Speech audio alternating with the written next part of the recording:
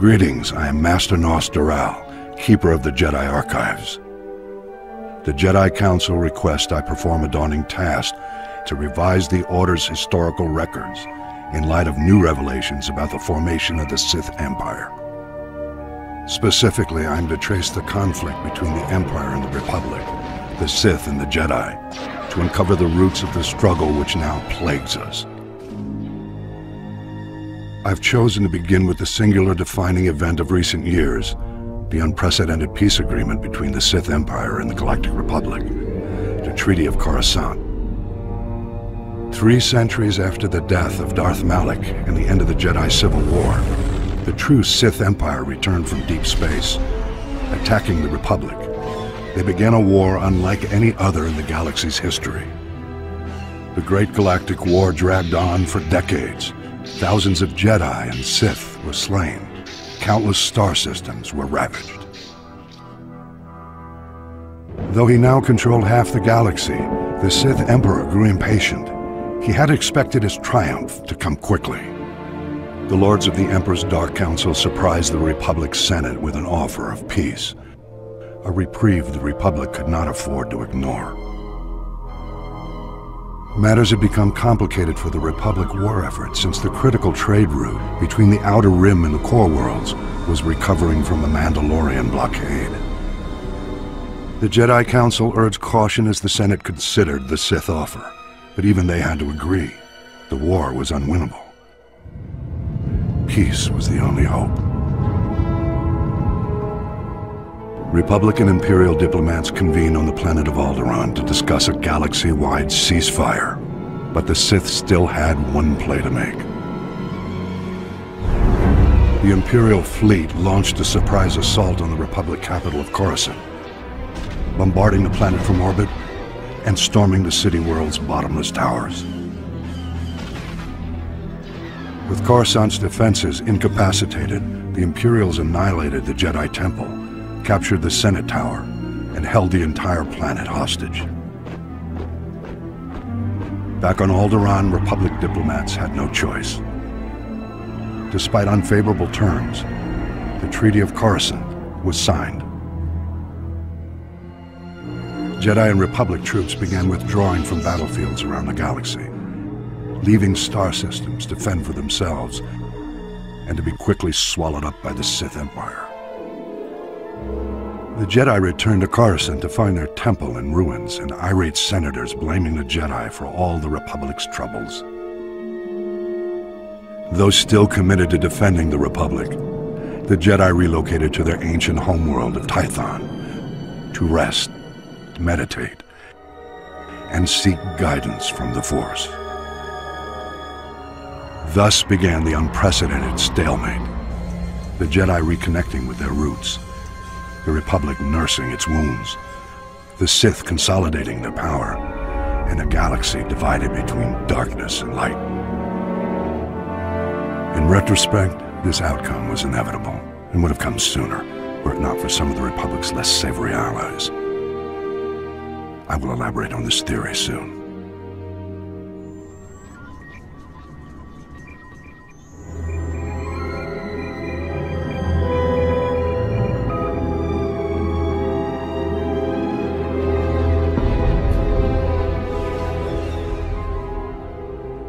After the sacking of Coruscant, the Jedi Council agreed that the Republic had been undone by the bold cunning of the Empire's strategy.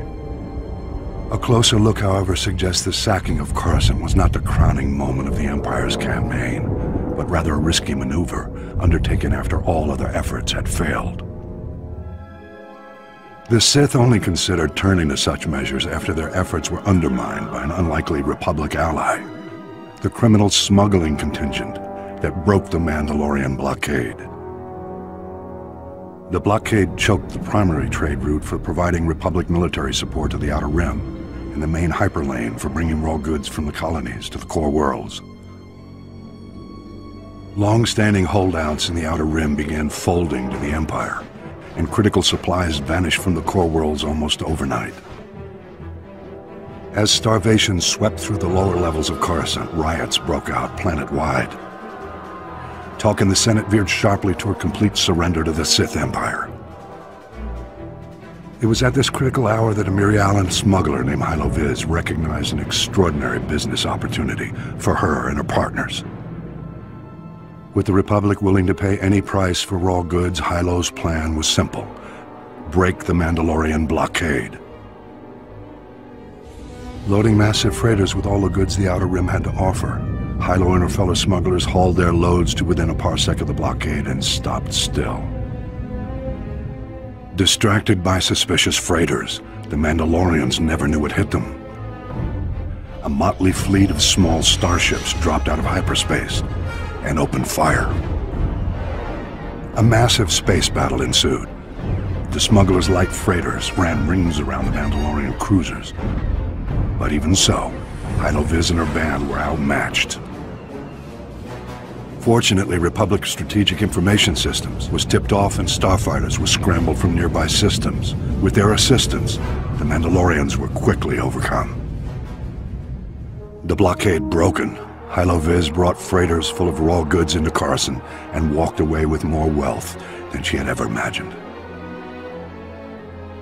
An elaborate medal ceremony was held in her honor, but Hylo never showed. She was long gone. Rumor has it Hylo Visz was killed a year later for double-crossing the Hutts. Regardless, through this unlikely hero's efforts, the Republic war effort gained a reprieve. At the time, many believed the Empire was behind the Mandalorian blockade. My research indicates a far more elaborate explanation. I will share that in my next report.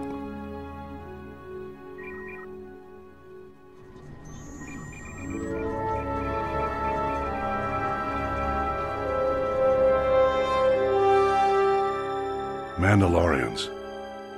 Trained from birth to fight in battle, their bodies are honed into killing machines. These independent warrior nomads have challenged the Jedi for centuries.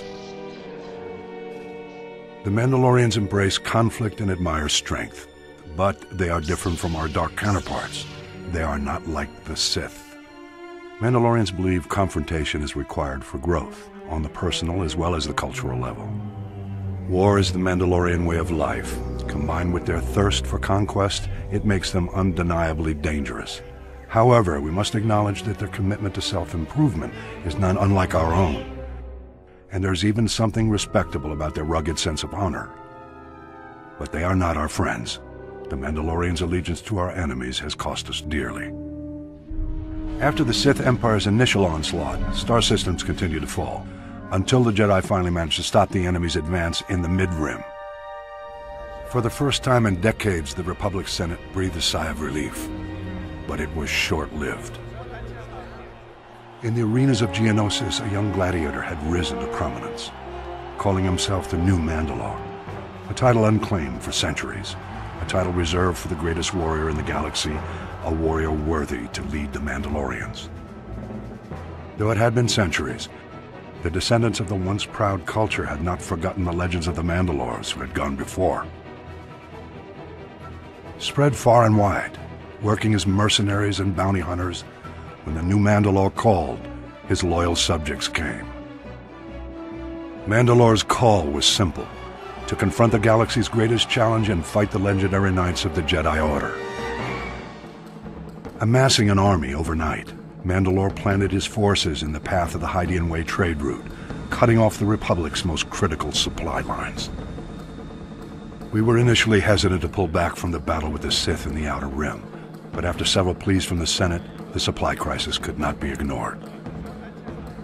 The Jedi Order answered the new Mandalore's challenge. We attacked the blockade. Our order was defeated quite profoundly the Mandalorian blockade held strong until the day intrepid smugglers took their shot at the Mandalorians and managed to rescue the Republic.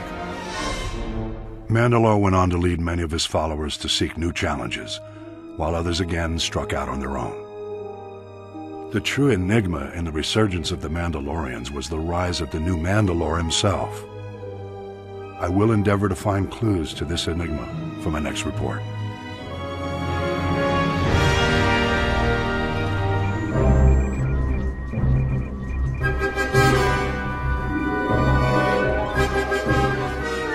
The arrival of Imperial allies in the Great War was a devastating blow from which the Republic never fully recovered. This was the second step in the Sith Emperor's master plan.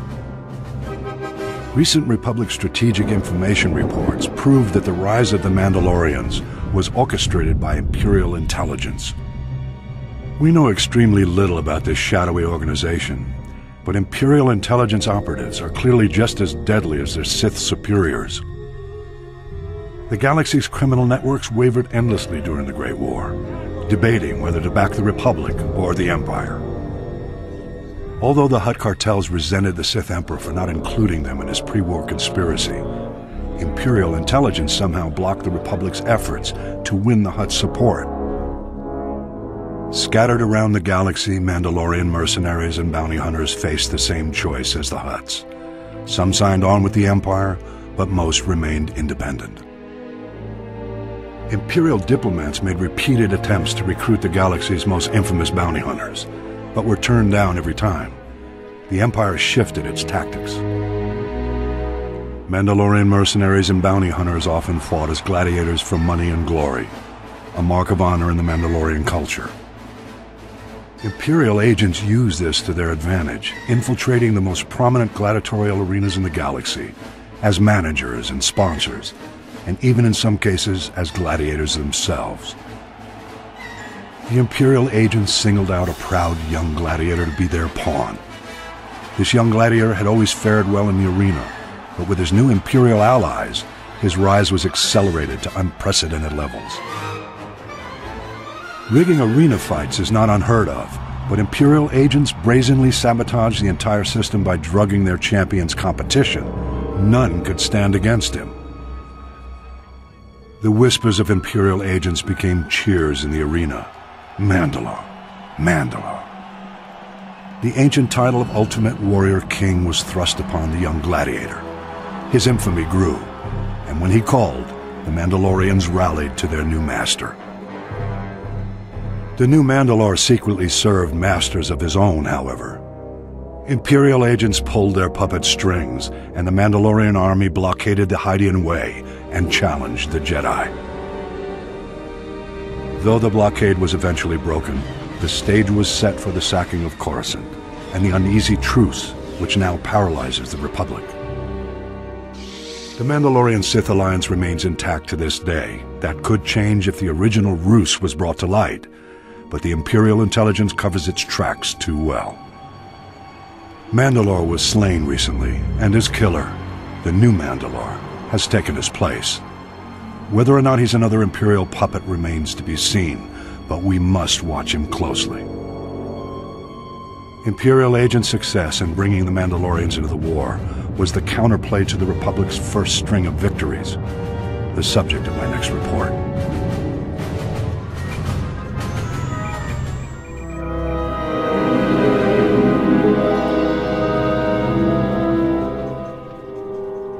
The Emperor planned the Republic's destruction, he did not foresee the need for alliances. The Sith would sweep through the galaxy, systematically exterminating their age-old Jedi enemies and dismantling the proud Republic. But the Emperor's vision was cynical. He did not count on the brave sacrifices the Republic's heroes were willing to make. After the Sith offensive seized the Siswina sector of the Outer Rim, the Imperial Armada turned its sights closer to the core, the mid-rim.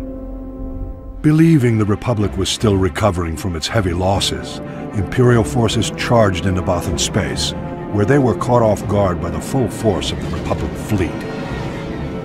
The Republic fleet obliterated the Imperial squadron, and the Battle of Bothawui became the Republic's first major victory in the war. The news spread across the galaxy, rekindling lost hopes and re-energizing exhausted defenders. The Republic fleet moved on, but a courageous force of Jedi and Republic soldiers remained on Bothawui to await the Empire's return. The vengeance of the Sith came swiftly. Imperial battle cruisers from around the galaxy closed in on Bothan space to recoup their losses. A high-powered planetary shield protected Bothawui from bombardment, forcing the Imperial forces to engage on the ground. Jedi Master Belth Allusis seven dozen of the Order's finest knights, and 4,000 Republic soldiers dug in to defend the shield generators, or die trying. The disparity was staggering. An unprecedented Imperial army, 50,000 strong, descended on Bothawui's brave defenders. The defenders were undaunted, with no expectation of survival. They were mindful only of their duty. But overconfident Imperial commanders threw all their army's might into direct assault and their ground forces fell in droves. For every Republic soldier who died, ten Imperials were killed. The Empire was forced to call in reinforcements. Despite the defenders' determination, their lines were whittled away until only a handful of soldiers and Jedi remained. They rallied to the Jedi Master Allusis for a final stand. Imperial Grand Moff Zelos offered to spare Master Allusis if he and his brave comrades would surrender. Neither pride nor foolhardiness drove the defenders' decision. They were guided by the Force. They had passed beyond the fear of death. Their glorious last stand will never be forgotten. Allusis and his men fell, but not before the Imperials were driven to retreat. The Battle of Bothawui was a draw. The heroes of Bothawui inspired bold New Republic strategies that eventually halted the Empire's advances. In retrospect, though, the Republic had lost too many systems in the early years of the Great War. The execution of the Emperor's brilliant strategy was flawless. Survival was the best the Republic could hope for. I've spent much time now piecing together the puzzle of the Emperor's initial designs, and I have a theory that is quite surprising. I'll develop that for my next report.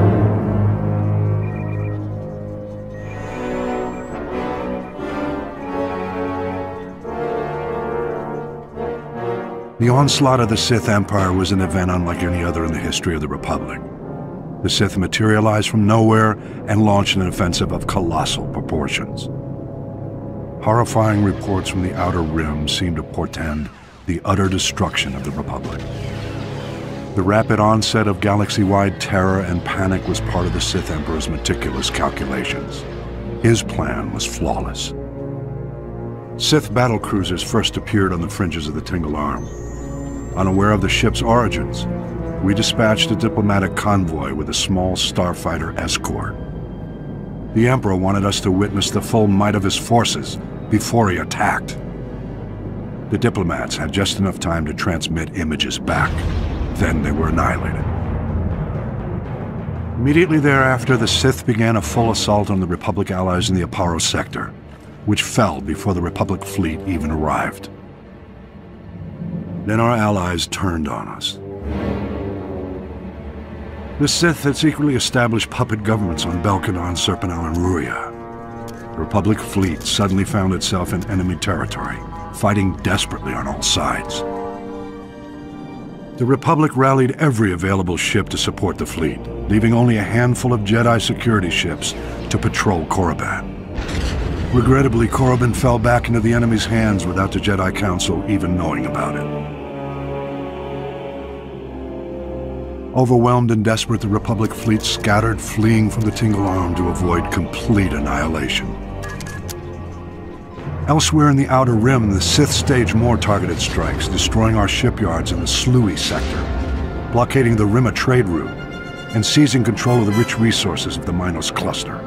Confused and in complete disarray, Republic forces were unable to respond. Republic leaders and members of the Jedi Council arranged an emergency meeting in the Senate to prioritize the galaxy's defense. But the session quickly became mired in politics. Irate senators stormed out in protest over decisions which left their representative sectors exposed to attack. Many of the Republic's diplomatic allies refused military support for the greater cause. It was every system for itself. This was perhaps the greatest genius of the Emperor's plot. He had turned the Republic against itself. While the Republic played politics, the Emperor used the time to reconfigure his forces for the long push into the galactic core. All might have been lost in those early years had individual Jedi Masters and Republic military leaders waited for the Senate's orders. By taking matters into their own hands, they managed to slow the Empire's advances. The attack of the Sith Empire was the most well-orchestrated and carefully coordinated military maneuver in the galaxy's history. Indications suggest the operation took centuries of planning and preparation. I'll elaborate in my next report.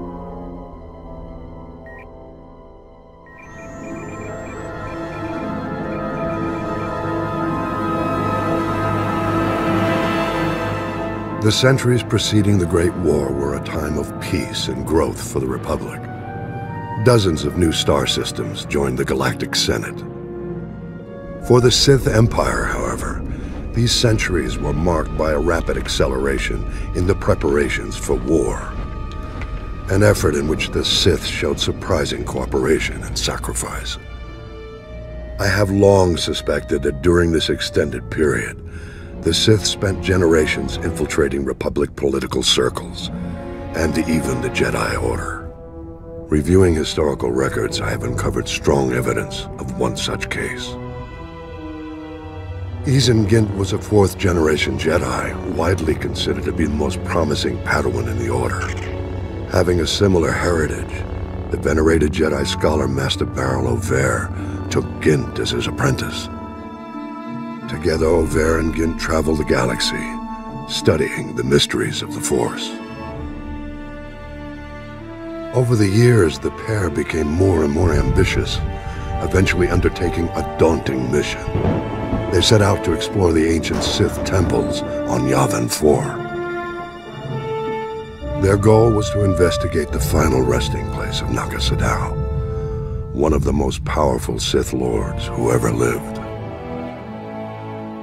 Arriving on Yavin 4, Auvere and Gint discovered that Naga Sadow's twisted Massassi warriors had survived the centuries. The Massassi originated as a Sith subspecies, forming the backbone of the earliest Sith armies. But Naga Sadow subjected his Massassi followers to heinous experiments, turning them into dark force-wielding monsters. Gint and Master Auvere fought bravely against the Massassi, but they were defeated and forced to flee deep into the temple. There they encountered the dark energies still lingering in Naga Sadow's tomb. Weeks later, Master Auvere returned to the Jedi Temple on Coruscant, alone, wounded and half insane from the tortures he had endured. After a lengthy recovery, Master Auvere told a tale of the horrors he faced and of Gint's tragic death. Several years passed. Then one day, Izen Gint mysteriously reappeared on Coruscant, wearing the garb of the Massassi warriors and bent on killing Master Auvere. Possessed by the dark spirit of Naga Sadow, Gint attacked his former master in broad daylight. The brutal battle between the two was staged, with all the Republic watching. Gint's borrowed powers were formidable, but Master Auvere won the day. Auvere's triumph over darkness was celebrated, and the Jedi Council assumed that all was well. The question no one asked was this. Why would Naga Sadow's spirit seek vengeance, specifically against Master Auvere? The answer has become clear after a closer look at Auvere's Jedi heritage. His father and grandfather also went out of their way to visit the tombs of the ancient Sith Lords. They were a family of Sith infiltrators. Auvere's mission on Yavin 4 was not for the Jedi. It was on behalf of his true master, the Dark Emperor of the Sith. The Emperor knew the spirits of the ancient Sith Lords could be a threat to his power when he returned to the known galaxy a century later. Auvere's trip to Yavin 4 was a preemptive strike.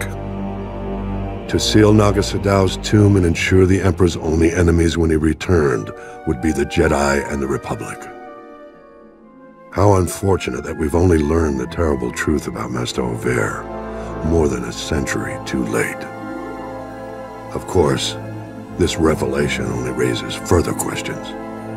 What other acts of dark subterfuge were Auvere and his family involved in?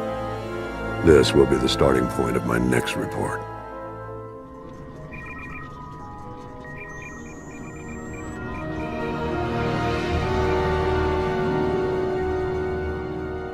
Sith infiltrators. We are now certain that the Sith Empire began laying the groundwork for its return as far back as the Jedi Civil War. In fact, it's clear that the origins of the Jedi Civil War itself were not as simple as we once believed. The Sith Emperor's first representatives to return to Republic space are well-known names. Darth Revan and Darth Malak. Revan is remembered now as a legend, a great hero of the Jedi Order. But that was only after his redemption. Revan and Malak first rebelled against the Jedi Council by ignoring orders and assisting the Republic during the Mandalorian Wars. Revan's success in defeating the Mandalorians caused the Council to question its orders. But none realized how far Revan had already fallen. After their crushing victory on Malachor 5, Revan and Malak chased the Mandalorians into deep space. It was there on Dromund Kaas that they encountered another enemy entirely, the Sith Empire Reborn. We know nothing of what transpired when Revan and Malak met the Sith Emperor. One thing is certain, when they returned, they did so on behalf of their new Dark Master. The fall of Revan and Malak to the dark side was complete the Emperor sent them back to the Republic to make preparations for a full-scale Sith invasion. Their mission was to recover the maps leading to the ancient Star Forge, constructed by the Rakata more than 25 centuries ago. With the Star Forge, the Emperor planned to accelerate the construction of the new Sith Armada. He would exact his vengeance against the Jedi and the Republic centuries ahead of schedule. The ambitions of Darth Revan and Malak grew quickly, though. As they drew closer to the Star Forge, the two Sith Lords began to have visions of their own empire. Fortunately for the Republic, Malak's thirst for power drove him to betray his master. He attacked Revan's ship and left his former master for dead. The Jedi found Revan wounded and unconscious. After much debate, the Council made a controversial decision to erase Revan's memory and retrain him as a Jedi. Working with Jedi Master Bastila Shan, Revan recovered his strength. He then rescued the Republic and defeated his former apprentice. The Jedi Civil War was over, the Star Forge destroyed, and Revan not only redeemed, but celebrated as a hero. Deep in Revan's lost memories, however, hid the knowledge of a lurking menace far greater than Darth Malak. Indeed, the Emperor's plan to accelerate his return was thwarted, but the construction of the Sith Armada continued. It would only be a matter of time. With the war over, Revan returned to deep space in search of the Great Evil. What happened after that is unknown.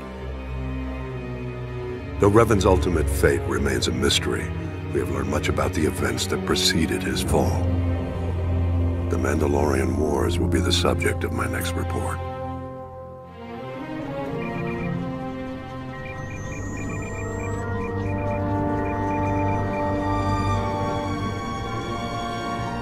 Revan and Malak did not fall to the dark side in a single moment.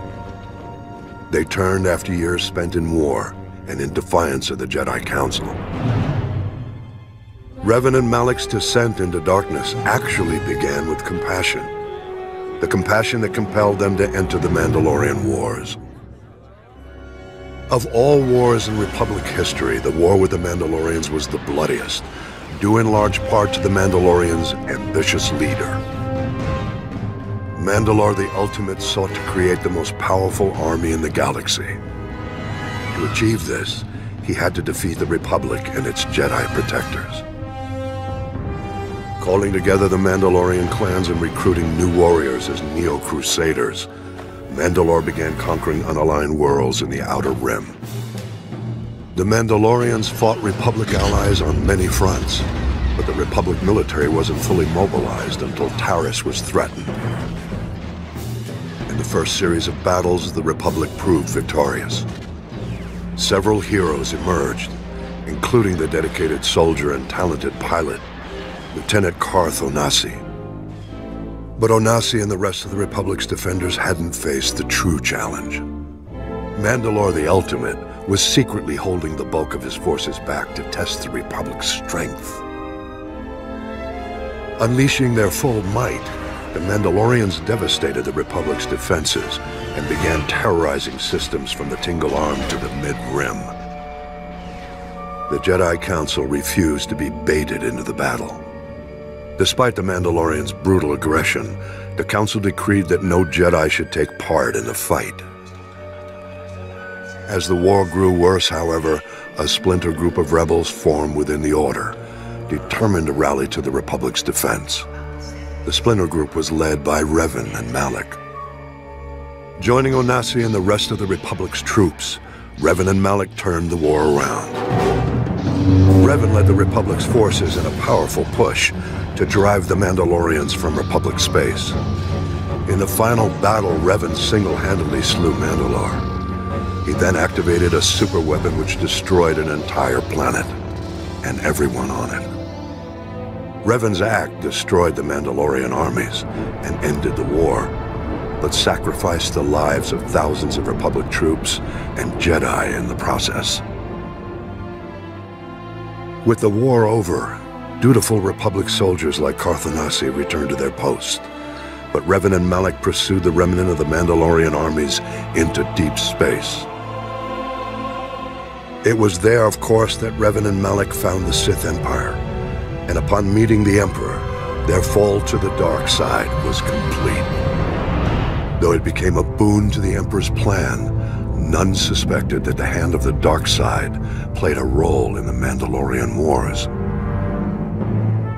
A closer analysis of history suggests otherwise. The story of Exar Kun in my next report.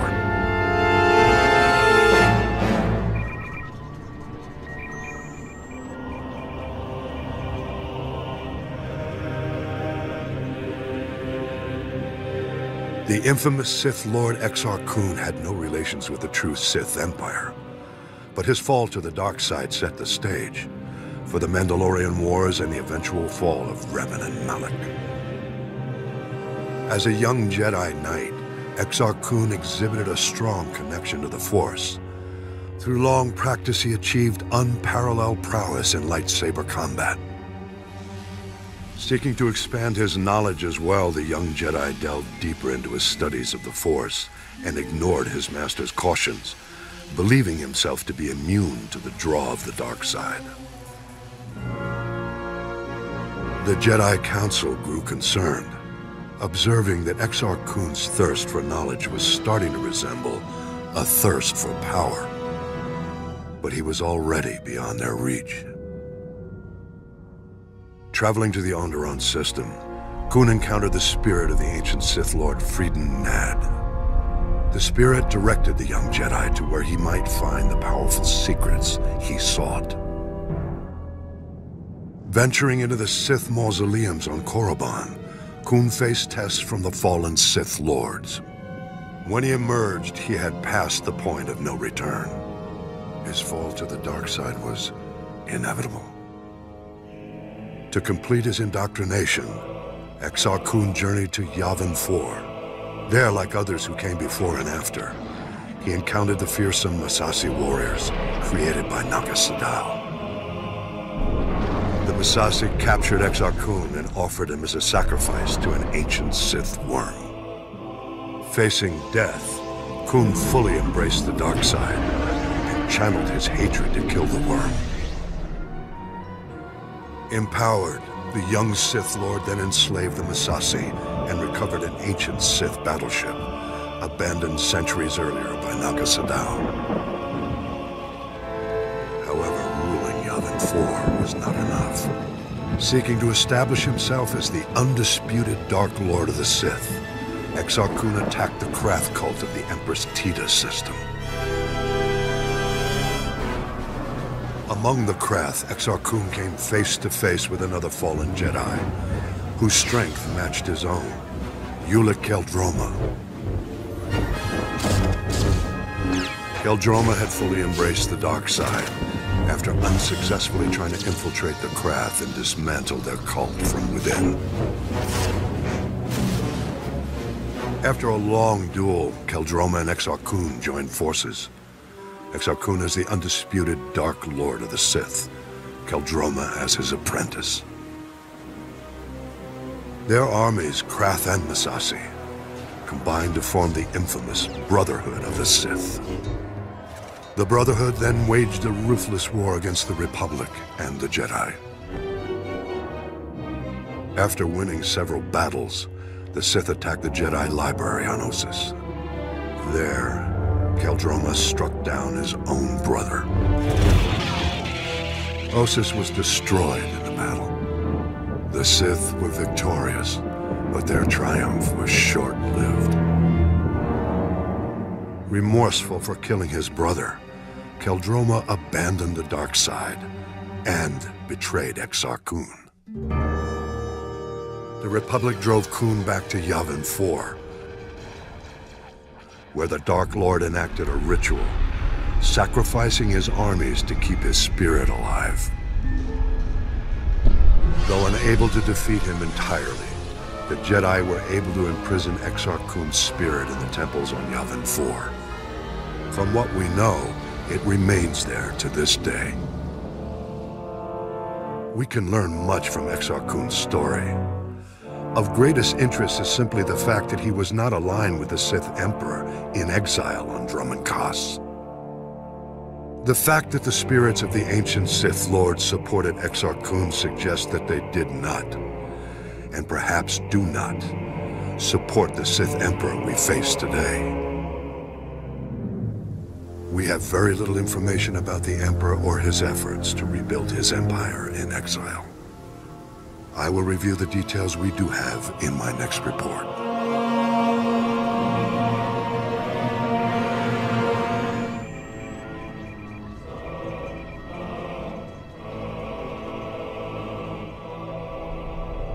For more than a thousand years, the resurrected Sith Empire advanced unchecked in deep space. All the while, we Jedi believed the Sith were extinct. Though several self-proclaimed Sith Lords challenged the Republic, they were all fallen Jedi, not true Sith. The true Sith were the biological descendants of the ancient red-skin race native to Korriban. The true Sith were extinct, except those who fled into exile 900 years ago. The success of their reincarnated civilization is testimony to the dark genius of the Sith Emperor. But the dedication of the Imperial people must be acknowledged as well. In our brief glimpses into the Empire's secret history, one name stands out. Grand Moff Odile Viken, the founder of the modern Imperial military. As a child, Viken was one of the few hundred survivors who fled to carnage on Korriban at the end of the Great Hyperspace War. To escape their enemies, the Emperor led a small fleet of Sith ships in a hyperspace jump into uncharted regions. The exile fleet wandered in deep space for many years thereafter. During this time, Viken learned navigation and became one of the fleet's most respected pilots. The survivors finally settled on the jungle world of Dromund Kaas. There the Emperor revealed his vision to build a new civilization of unrivaled efficiency. And he promised his people vengeance. He promised them an empire destined to dominate the galaxy an empire destined to bring about the Republic's destruction. The Emperor's role in Reconstruction was as visionary alone. He said to have withdrawn into isolation and left the logistics to a newly formed Dark Council and to loyal Imperial leaders like Odile Viken. While the Dark Council debated long-term plans in the Sith power structure, the young Viken took on the monumental task of establishing order. Viken drafted every non-Force user of age into the new Imperial military. He then developed the Imperial Military Training Regimen that remains to this day. With his army well trained, Vykin led a campaign to carve a footprint into the wilderness of Dromund Kaas, to create room for the Empire's new capital to flourish. Records suggest that during the campaign, he personally slew a rabid Tyranitar on the site where the Imperial Citadel stands today. After establishing the Empire's dominion on Dromund Kaas, Vykin turned his attention to constructing a new Imperial Navy. Dividing his troops between engineering, mining, and manufacturing, he laid the groundwork for an ambitious plan. The creation of the Imperial Armada. By his own estimates, the task would take centuries. Vykin knew he would never see even a fraction of his plan's success. Nonetheless, he garnered the support of the Dark Council and started the work. It was this act which earned Vykin the honor of being the first Grand Moff recognized in the new Imperial military. Grand Moff Vykin was eventually killed during an Imperial campaign to conquer an alien system in deep space. He died in battle on the bridge of a prototype Star Destroyer. A fitting end to the first Imperial Grand Moff. Though Vykin was lost all those centuries ago, his plan and his name lived on to inspire countless generations who marched under the Imperial banner. Vykin's story represents the surprising loyalty the Imperial citizens show to an empire in which they will always be subservient to the Sith.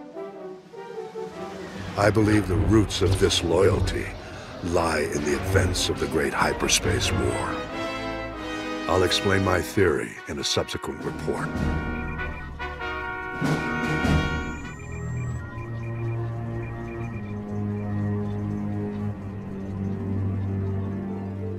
Among past threats to the Republic, the Great Hyperspace War stands above all other wars in galactic history. In fact, the battle we fight today is in many ways an extension of this same conflict. The Sith Empire we believe we had destroyed in this war has now returned to avenge its defeat. The historical factors that set the stage for the modern conflict bear close examination. I believe the greatest factor of all may have been the way the Republic concluded the Great Hyperspace War. The Great Hyperspace War began at a time when the Republic had enjoyed millennia of peace, growth, and consolidation. In contrast, the Sith Empire was ending its centuries-long adolescent period. Undiscovered by the Republic, the Sith had conquered all of the star systems near Korriban. They were now seeking new opportunities for expansion. At this time, a brutal power struggle had broken out following the death of the Sith ruler. Among the contenders was the Dark Lord Naga Whether by chance or destiny, it was at this time that two Republic explorers stumbled onto Korriban. Naga seized this opportunity to gain political advantage. The explorers were imprisoned as spies, but Naga Sadow staged an attack to liberate the explorers. He left evidence, suggesting the attack was a Republic military operation. Leveraging the widespread fear of an impending Republic invasion, Naga Sadow rallied the Sith to unite behind his cause a preemptive strike against their newly discovered enemies. Eager for war, the people embraced Naga Sadow as their new ruler. His first act was to launch a vicious assault against the Republic. The Sith armies attacked on several fronts, including Coruscant itself. Naga Sadow commanded all his forces from a meditation sphere, suspended over a giant star. The initial onslaught overwhelmed the Republic's unprepared defenses. The Sith Empire's victory was almost assured, but as happened so often, the dark side turned upon itself. Naga was betrayed by his apprentice. Though the apprentice was defeated, the attack did succeed in breaking Naga Sadow's battle meditation. The tide of the war turned. The Sith were lost without their leader's direction, and the Republic forces soon chased the invaders back to the very doorstep of Naga Sadow's meditation sphere. Recognizing his imminent defeat, the Sith Lord abandoned his forces and started a chain of events to destroy the nearby star and everything in its vicinity. Naga Sadow fled back to Korriban, only to discover renewed opposition to his rule. Civil war broke out, whittling away what was left of the Sith Empire's already weakened armies. Naga Sadow defeated the upstarts, but the Sith were defenseless when the Republic fleet attacked shortly thereafter. As the Republic fleet wiped up what remained of the Sith military, Naga Sadow fled again, this time into permanent exile on Yavin 4. It was at this moment the Republic made what might now be considered a mistake. The Sith no longer posed a threat to the Republic, but the Supreme Chancellor was unsatisfied. Jedi and Republic forces were sent to Korriban and other Sith planets to ensure no remnants of the Sith Empire remained. It was this action which drove the surviving Sith to flee into deep space, with the new Dark Lord who rose to take Naga Sadow's place. The same Dark Lord they continue to call Emperor to this day. I believe this was why he led his people to rebuild their civilization on Dromund Kaas.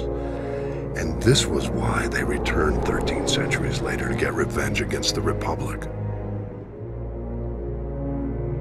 One must wonder how things might have been if the Republic had handled the end of the Great Hyperspace War differently. We mustn't forget, though, the conflict at the heart of the Great Hyperspace War and the war we fight today began even before the Sith Empire rose to power. I'll elaborate in the next holo record.